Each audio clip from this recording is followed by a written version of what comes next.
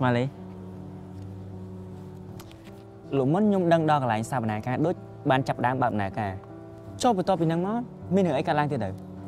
អឺជាដំបូងយើងត្រូវស្ដាប់ជនរងគ្រោះនៅមន្ទីរស21ប្រាប់ទៅតុលាការពីអីដែលពួកគេបានទទួលរងគ្រោះសិនគុកដែលដូចធ្លាប់គ្រប់គ្រងអឺត្រូវហើយតែគួរឲ្យស្ដាយណាមានជនរងគ្រោះតិចតួចដែលរស់រានមានជីវិតហើយនៅក្នុងចំណោមហ្នឹងគឺមានលោកជុំមីដែលជាសក្ខីកម្មយ៉ាងសំខាន់ ពិតជាមិនគួរឲ្យជឿដែលគាត់អាចគេចផុតពីការសម្លាប់នេះដោយសារតែគាត់ចេះជំនាញមេកានិកមកពីគាត់មានផលប្រយោជន៍ដល់ពួកវាអឺ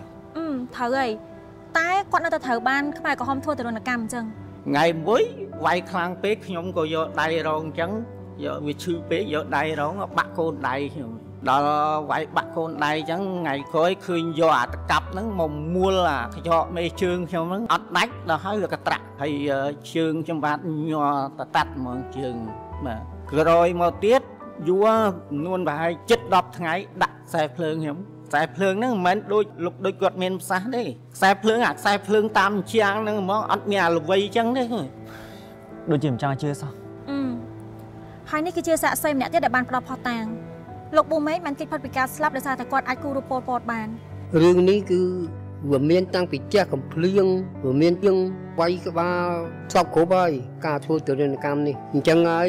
បើនិយាយឲ្យខ្លីទៅខ្ញុំយល់ថាប្រហែលជាបណ្ដាលមូលហេតុមកពីធ្វើទរណកម្មនឹងហើយបានគេហៅថាចាស់មុនអាយុបាក់ថ្មិញមុនអាយុពិតជាអាក្រក់មែនហើយក៏មានអ្នកតម្នាក់ទៀតឈ្មោះវ៉ាន់ណាតដែលគាត់រស់រានមានជីវិតដោយសារតែគាត់អាចគូររូបបានដូចគ្នាមនុស្សទោសនេះគឺដើរអត់រួចគាត់ ដាច់បាយគាត់ឈឺដើរមិនរួចហើយក្នុងពិបាកក្នុងការ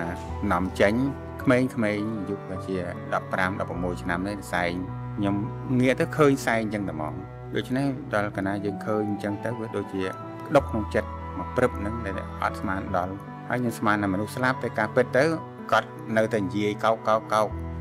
លោកវណ្ណាតគូរូបមិញហ្នឹងនៅពេលនោះហ៎ រូបហ្នឹងក៏បានគូរក្រោយពេលដែលគាត់ចេញពីមន្ទីរស21បន្ទាប់ពីរបបខ្មែរក្រហមបានដួលរលំចុះ